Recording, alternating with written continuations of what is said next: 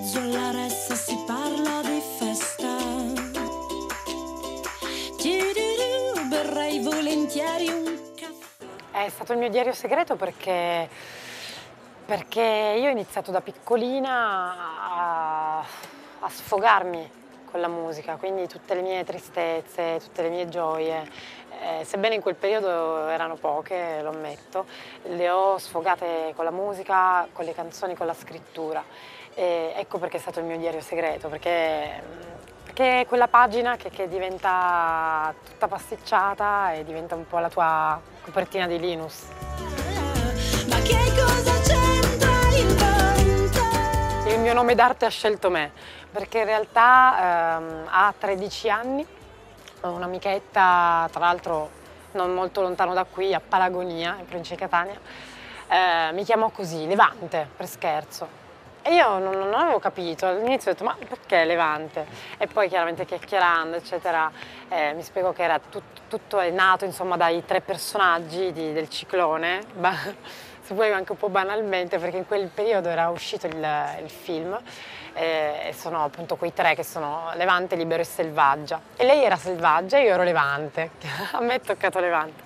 E ha- è un nome che mi ha seguita poi anche dopo la partenza dalla Sicilia e, e ho voluto portarlo con me proprio per, per un- per- per ricordo, per- perché poi io faccio anche parte dell'est no, della Sicilia, quindi il Levante, l'est mi, mi piaceva tantissimo e mi ha ancorata tantissimo alla Sicilia. E da lì non, mi si è più staccato di dosso, anche appunto dopo il primo contratto in cui mi chiesero ma tu un nome d'arte ce l'hai? Ho detto no, un nome d'arte non ce l'ho, però questo soprannome, Levante, ci piace e da lì è rimasto, è rimasto.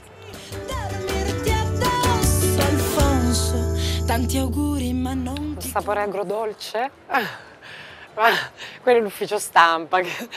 Sì, è vero, è possibile, nel senso che se vuoi c'è un po' di, di tenerezza, di, di felicità e dal lato questo- quest'altra mia parte un po' oscura, un po' malinconica, un po' triste, ma credo come tutti, eh, che, che si rivela nei- nelle mie canzoni, per cui eh, c'è questa sorta di bipolarismo eh, in cui dici ma aspetta, ma sta cantando una cosa in modo molto felice, eh, però è triste il testo, e allora cosa sta succedendo? E questo è, è quello che è stato detto di me.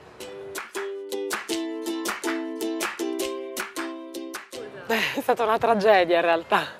No, Eh, l'ho, vissuta, l'ho vissuta come una persona normalissima che mh, dopo tantissimi anni di sacrifici e lavoro durissimo eh, si vede riconosciute determinate, de- de- determinate cose, tra cui appunto i miei sacrifici, no? E al di là del talento, della bravura, eccetera, non importa, però proprio il sacrificio che finalmente ti accarezza. Ehm, E io l'ho vissuta normalmente, ho, ho continuato a lavorare al bar fino a settembre, nel frattempo avevo fatto tutte le aperture di Gazzè, del- dei concerti di Gazzè, sotto- il Sottocasa Tour. Ehm, E, non, mi sono mai, cioè, non mi sono mai montata la testa, ma per indole sono una persona che sta con i piedi per terra e lavora, lavora semplicemente. E, e tragedia ti dicevo perché in realtà eh, sono stata etichettata in qualche modo e mai avrei voluto perché faccio una musica che è totalmente istintiva, non sto lì a pensare faccio pop, faccio rock, faccio indie, faccio... io faccio musica ed è quella che mi piace. non- eh, in manuale di istruzione, che è il mio disco, appunto, trovi veramente tante cose. Quindi Alfonso mi- ho temuto che mi portasse in una direzione che non era esattamente la mia, però è andata bene alla fine, il pubblico l'ha capito.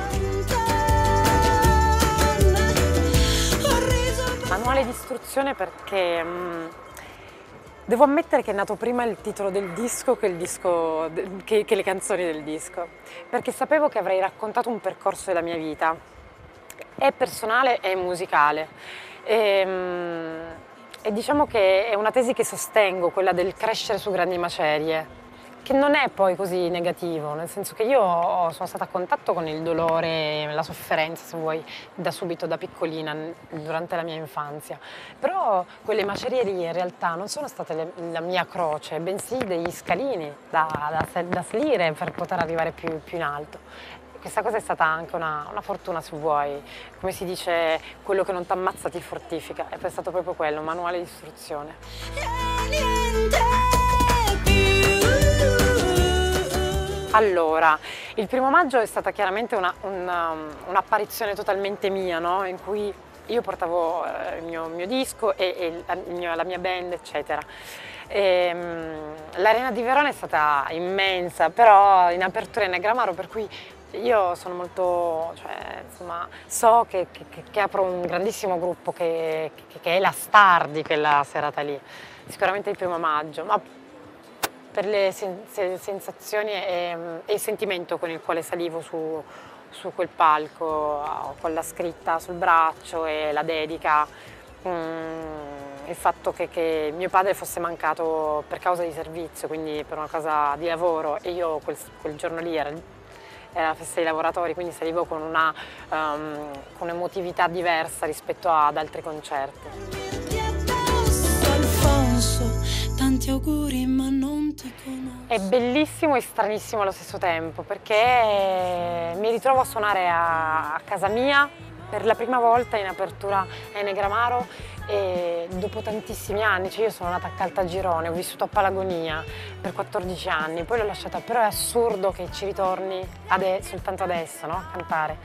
Eh, beh, lì si aprono altre questioni, è un po' più difficile suonare in Sicilia, eh, nelle isole o al sud. Eh, però l'onore è grandissimo perché comunque mi trovo in una situazione del genere, del, del- del teatro antico, è bello, bello, bello. Ieri, ieri è stato emozionante, questa è la seconda serata, è pazzesco. Un saluto e un abbraccio ai fan di Urban Week, io sono Levante. Ti ho visto sbadigliare